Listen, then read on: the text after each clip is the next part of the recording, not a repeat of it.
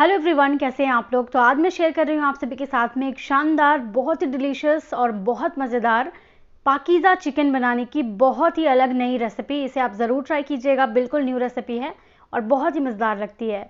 चलिए कैसे बनाना है, सीख लेते हैं। इस चिकन को बनाने के लिए मैंने 500 ग्राम बोनलेस चिकन लिया हुआ है और इसमें मैंने एक नींबू की रस डाली है। इसी के साथ इसमें मैं नमक डालूँगी तो नमक मैंने एक बड़े चम्मच डाली है। साथ में मैं इसमें लाल मिर्चों का पाउडर एक टीस्पून ऐड कर हूँ। धनिया पाउडर एक टीस्पून ऐड किया है मैंने, भुना कुटा हुआ ज़ीरा पाउडर एक टीस्पून डाली है, चिकन मसाला पाउडर एक टीस्पून, एक टेबलस्पून गार्लिक पेस्ट और साथ में हाफ़ टी स्पून मैं इसमें जिंजर पेस्ट डाल रही हूँ। और इसी के साथ हाफ़ कप मैं इसमें दही डालूँगी और कलर के लिए मैं थोड़ा सा फ़ूड कलर डाल रही हूँ जो कि ऑप्शनल है। और बस चिकन को ये सारे मसाले जो हैं अच्छे से लगा देने हैं हमें। नींबू और दही चिकन को बहुत अच्छा मैरिनेट होने में हेल्प करेगा। और टेंडर हो जाएगा ये चिकन तो इसको अभी साइड पे कर लेते हैं आधे घंटे के लिए। अब नेक्स्ट स्टेप में कढ़ाई ले लीजिए और उसमें बहुत थोड़ा सा तेल गरम कर लीजिए, तकरीबन दो छोटे चम्मच। और जब ये तेल गरम हो जाए तो इसमें चार पाँच पीस हरी इलायची, दो पीस दालचीनी का टुकड़ा पाँच छः पीस लौंग डालनी है। काली मिर्च के दाने मैंने आठ दस पीस डाले हैं। एक जवित्री की आधी सी फूल डाली है। तेज़ पत्ता मैंने एक पीस लिया जिसको थोड़ा थोड़ा छोटे छोटे टुकड़े में तोड़ लिया है। इसी के साथ एक छोटे चम्मच में इसमें साबुत ज़ीरा डाल रही हूँ। ये सारे जो हैं, खड़े मसाले आपको डालने हैं इस तेल में और जैसे ये चटकने लगेंगे, इनको हल्का सा स्टर कर देना है। अभी क्या होगा, ये जो तेल है, इसमें इनका फ्लेवर आ जाएगा, इनकी खुशबू आ जाएगी और ये ऑयल बहुत ही अच्छा फ्लेवरफुल हो जाएगा। प्लस गरम मसाले की खुशबू से सालन बहुत अच्छा ये जो रेसिपी है, बहुत ज़बरदस्त बनेगी। तो यहाँ पे देखिए, ये जो गरम मसाला है हल्का हल्का क्रैकल हो रहा है, बहुत तेज़ आँच पे आपको नहीं डालना है। हल्का हल्का ये क्रैकल होने लगे तो इसमें आप पाँच छः पीस लाल सूखी हुई मिर्च डालिए। यहाँ पे ये मिर्च बहुत ज़्यादा तीखी है, इसीलिए मैंने कम इस्तेमाल किया है। साथ में मैंने 10-12 पीस लहसन की कलियाँ डाली हैं और दोनों को अच्छे से मिला ले रही हूँ। यहाँ पे लहसन और हरी मिर्च को आपको साबुत अच्छे से मिला लेना है, भून लेना है। और जैसे ही ये भुनने लगे, इसमें आप एक लार्ज साइज़ की प्याज डालिए। मैंने यहाँ पे बड़े साइज़ का प्याज लिया है, जिसको मोटा मोटा काट कर डाला है और डालकर इसको मैं एक दो मिनट अच्छे से फ्राई कर ले रही हूँ।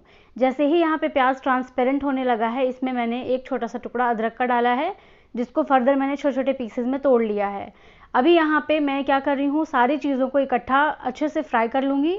संग संग मैं इसमें दो टमाटर भी डाल रही हूँ। तो टमाटर मैंने मीडियम साइज़ का लिया था और इसको मैंने रफली चॉप किया है और प्याज के साथ में इसको अच्छे से मिला ले रही हूँ। सारी चीज़ें यहाँ पे बहुत अच्छी भुन सी गई हैं तो इसमें मैंने वन टेबल स्पून ऐड करनी है मेलन सीड्स यानी कि खरबूजे के बीज और डालकर इसको अच्छे से मिला देना है। अब जब ये सारी चीज़ें मिल गई हैं, बहुत अच्छी सी भुनाई हो गई है, खुशबू बहुत प्यारी सी आ रही है इन सारे मसालों के भुनने की तो इसको आप लिड से कवर करें और पाँच मिनट के लिए मीडियम फ्लेम पे कुक कर लीजिए। पाँच मिनट में क्या होता है ना कि टमाटर वगैरह का मॉइस्चर निकलता है और ये मसाला बहुत अच्छे से फ्राई हो जाता है और अच्छा भुन जाता है। जब ये ड्राई होने लगे तो इसको आप इस तरह से मिलाने के बाद में ठंडा कर लीजिए और ग्राइंड कर लीजिए, पेस्ट बना लीजिए। अभी इन दूसरे पैन में हमें क्या करना है? थोड़ा सा तेल गर्म करना है। यहाँ पे तेल थोड़ा सा ज़्यादा लगेगा, तकरीबन चार बड़े चम्मच और सारा मैरिनेट कर कर रखा हुआ जो चिकन है, यहाँ पे आपको ट्रांसफ़र कर देना है। और इस चिकन को यहाँ पे बहुत अच्छे से मिला देनी है। मिलाने के बाद में इसको लिड से कवर करें आप और सात से आठ मिनट तक लो मीडियम फ्लेम पे कुक कर लीजिए। लो मीडियम फ्लेम पे सात आठ मिनट से ये कुक हो रही थी और चिकन का जो मॉइस्चर है, खुद के इसके जूसेस हैं, प्लस दही का पानी है, वो निकलना शुरू हो गया है। तो एक बार बीच में अच्छे से चला देंगे। वापस से लिड से कवर करेंगे और आगे के तीन चार मिनट और कुक कर लेंगे। जब तक इसका मॉइस्चर पूरा पूरा तरह ड्राई नहीं हो जाता और ये बहुत अच्छे से भुन नहीं जाता। अब देखें यहाँ पे इसका मॉइस्चर ख़त्म हो चुका है और बस चिकन को हमें अच्छे से इसमें भून लेना है। हल्का हल्का ग्रिल मार्क्स आने देना है, तब तक हमें इसको फ्राई कर लेनी है।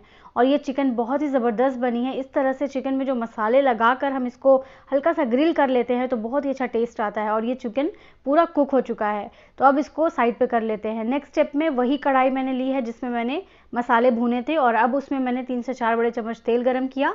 तेल में मैंने एक छोटी प्याज डाली है। प्याज को मैंने बारीक चॉप कर लिया था और इस प्याज को मैं लगातार फ्राई करते हुए बिल्कुल लाइट गोल्डन ब्राउन कर लूँगी। प्याज जैसे ही सुनहरी ब्राउन होगी ना, इसमें सारा तैयार किया हुआ मसाला पेस्ट जो है वो डाल देना है। ये तैयार किया हुआ मसाला पेस्ट प्याज, टमाटर और गरम मसालों के साथ में तैयार किया हमने, और साथ में जो खरबूजे के बीज डाले थे वो भी है।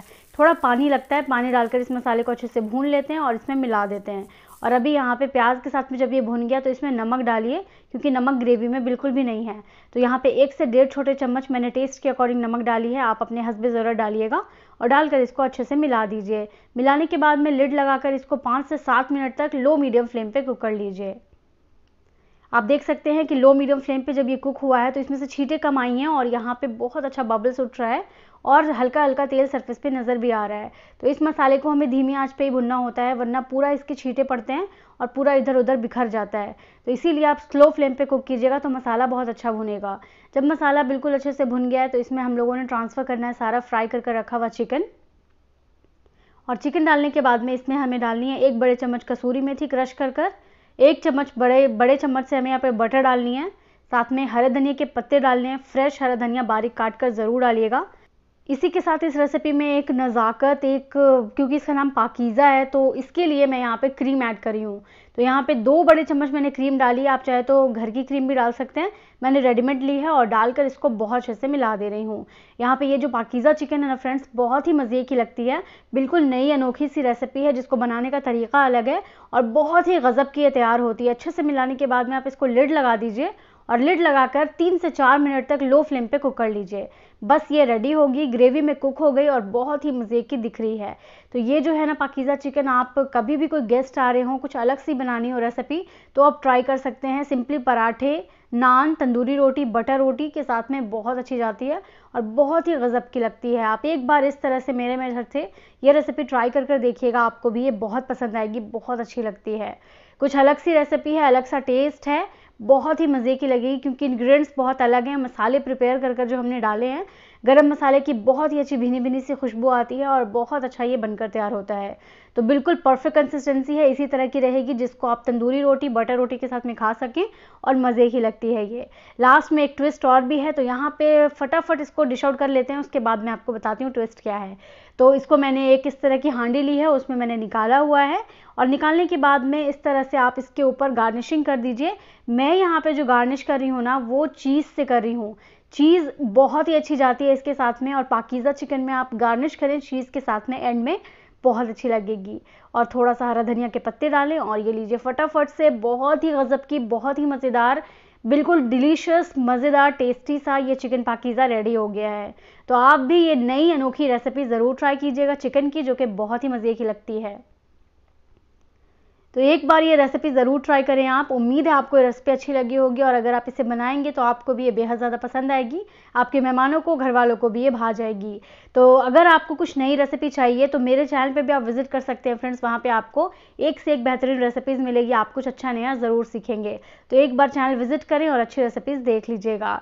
इस रेसिपी को इन्जॉय कीजिए। बटर रोटी तंदूरी रोटी या पराठे के साथ में मर्ज़ी आपकी किसके साथ में आप सर्व करना चाहते हैं और इसे एक बार इन्जॉय कीजिए। बहुत ही मज़े की लगेगी।